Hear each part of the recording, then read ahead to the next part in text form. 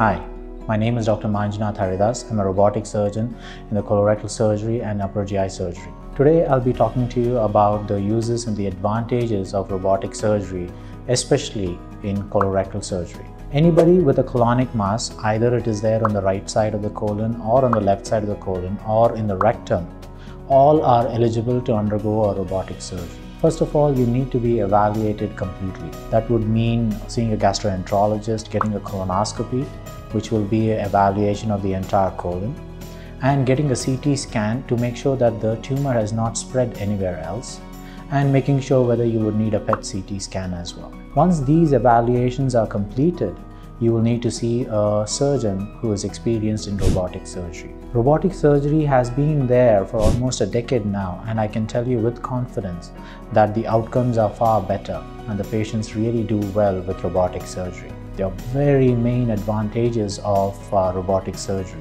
One of them being uh, 3D visualization. The surgeon is able to visualize the inside of the abdomen in much better way with higher magnification. And the precision with which we can do surgery is greatly enhanced using the robotic surgery platform. Imagine if you have a surgeon who is comfortable to do surgery because of the visualization and because of the dexterity with which the robotic surgery offers, you will definitely have a better outcome. And this is what translates into a better outcome for you when you go home. So at the end of the day, if you have anything related to the colon, especially a colon mass or even a benign disease or an infection of the colon, I would definitely recommend you to undergo a robotic surgery after complete evaluation.